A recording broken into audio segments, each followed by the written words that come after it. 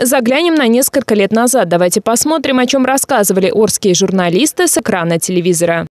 Обязательная школьная форма в этом году вводится не только для первоклассников, как в прошлом, но и для всей начальной школы. Несмотря на то, что до начала учебного года осталось меньше месяца, на данный момент в магазинах Орска реализованы меньше половины плановых комплектов. Количество детей начальной школы в целом по городу составляет 11,5 тысяч. Закуплено же по данным на 3 августа всего около 5 тысяч костюмов.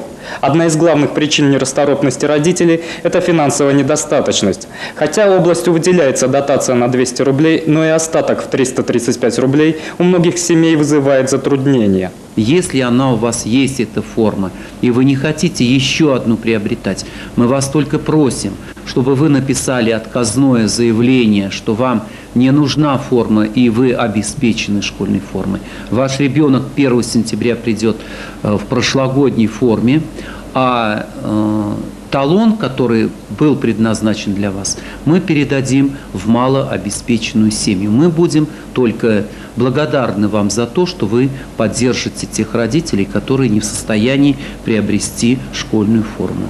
Еще одна причина нежелания покупать форму – это внешний вид костюмов. Многим не нравится их покрой и расцветка.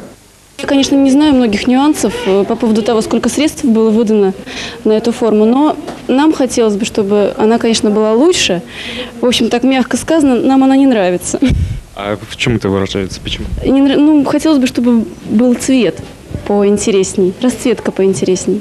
По словам начальника управления образования, все возникшие проблемы решаемы, но не сразу. В следующем году должен начаться новый этап реализации губернаторской программы.